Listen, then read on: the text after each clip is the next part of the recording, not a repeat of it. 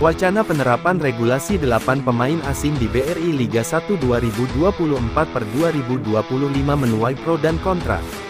Bagi mantan bek asing Arema FC, Arthur Kunya, pemain lokal Indonesia tak boleh takut dengan regulasi itu. Menurut pemain yang membela Arema FC selama empat musim ini, penambahan kuota pemain asing untuk Liga 1 dan Liga 2 akan berdampak positif bagi kemajuan sepak bola Indonesia. Arema FC dikabarkan bakal segera kedatangan pemain asal Amerika Latin. Pemain asing tersebut disebut-sebut berposisi playmaker. Namun, bukanlah hal mudah bagi Arema FC untuk mendatangkan playmaker asing. Manajemen Arema FC harus merogoh kocek dalam, apabila ingin menggaet playmaker berkualitas. Sport Channel coba merangkumnya sebagai berikut.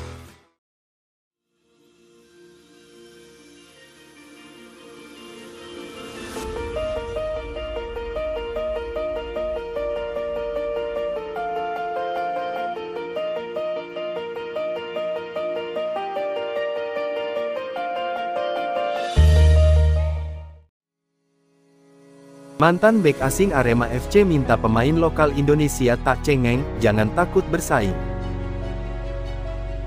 Wacana penerapan regulasi 8 pemain asing di BRI Liga 1 2024 per 2025 menuai pro dan kontra. Bagi mantan bek asing Arema FC, Arthur Kunya, pemain lokal Indonesia tak boleh takut dengan regulasi itu. Menurut pemain yang membela Arema FC selama empat musim ini, penambahan kuota pemain asing untuk Liga 1 dan Liga 2 akan berdampak positif bagi kemajuan sepak bola Indonesia. Seperti diketahui, beberapa hari yang lalu muncul gerakan atau kampanye yang mengisyaratkan penolakan dari para pemain lokal terhadap kemungkinan penerapan penambahan kuota pemain asing di Liga 1 dan Liga 2. Menurut rumor, untuk musim 2024 per 2025 nanti, kuota pemain asing Liga 1 kemungkinan bertambah menjadi 6 plus 2 dan Liga 2 menjadi 3 plus 1. Musim lalu Liga 1 menerapkan regulasi 4 plus 2, dan Liga 2 dengan regulasi 1 plus 1. Regulasi baru pemain asing memang belum resmi berlaku.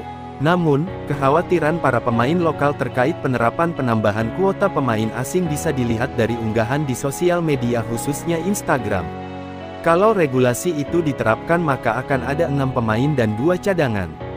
Tentu kalau dilihat bisa susah pemain lokal bermain di tim pertama karena ada enam pemain asing itu, kata Arthur Kunya kepada bola.com, Jumat pagi tanggal 14 Juni tahun 2024.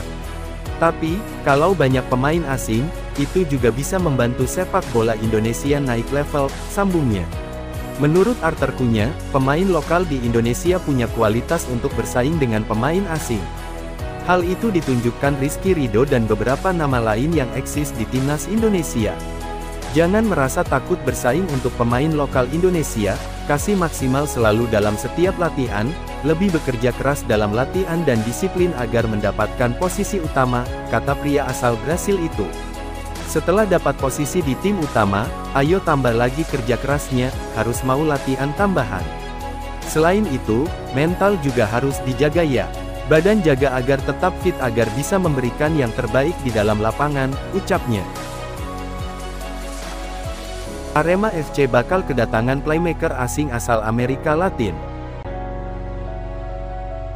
Arema FC dikabarkan bakal segera kedatangan pemain asal Amerika Latin. Pemain asing tersebut disebut-sebut berposisi playmaker. Ya nanti akan ada pemain dari Amerika Latin yang kami datangkan, ujar General Manager Arema FC Yusrinal Fitriandi belum lama ini. Kata dia, posisi playmaker memang menjadi peran vital dalam permainan sepak bola. Apalagi dalam beberapa tahun lalu Singo Edan sempat dihuni oleh playmaker handal. Seperti Roman Camelo, Gustavo Lopez hingga Makan Konate. Untuk di musim ini pun, manajemen Arema FC berharap dapat mendapatkan sosok playmaker yang berpengalaman. Hal ini guna mengangkat performa tim, setelah terpuruk dalam dua tahun beruntun. Yang jelas kami butuh pemain yang berpengalaman dan memiliki jam terbang. Kami sudah tidak ingin gegabah lagi, katanya. Dua musim kemarin sudah banyak pelajaran yang kami dapatkan untuk diperbaiki lagi ke depannya, ucapnya. Di sisi lain, asisten pelatih Arema FC, Kuncoro menjelaskan, kehadiran playmaker yang bagus dapat menopang ketajaman di lini depan Arema FC. Menurutnya, Singo Edan membutuhkan playmaker yang dapat memberikan umpan-umpan matang di depan mulut gawang lawan. Kehadiran sosok playmaker yang tepat akan menguntungkan tim, karena mereka bisa menjadi sumber kreativitas serangan tim, katanya. Kuncoro juga mengatakan, kalau tim-tim papan atas di Liga 1 juga dihuni oleh playmaker berkualitas. Seperti Borneo FC yang memiliki Stefano Lillipali dan Madura United yang memiliki Francisco Rivera. Namun, bukanlah hal mudah bagi Arema FC untuk mendatangkan playmaker asing. Manajemen Arema FC harus merogoh kocek dalam, apabila ingin menggaet playmaker berkualitas. Kehadiran playmaker itu bisa membuat permainan tim lebih tertata. Lalu juga menjadi sosok pemecah kebuntuan, ungkapnya.